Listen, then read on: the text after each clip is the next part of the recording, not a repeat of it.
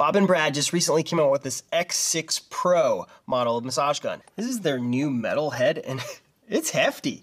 Look at this bad boy.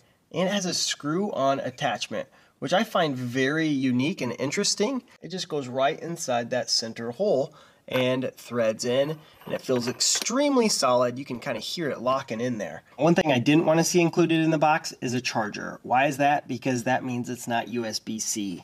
Now that's kind of a bummer if you're like me and you like the USB-C, all the things, but I will say it charges fast and it's got a massive battery. Decibel noise level is where I absolutely think it's very important and overlooked so often. This one goes down to 44 decibels and all the way up to 54 decibels. Now every 10 decibels is twice as loud. Compare that to massage guns that low on around 60. You can tell that this one's half the volume. Now that said, this one has no chance against its little brother,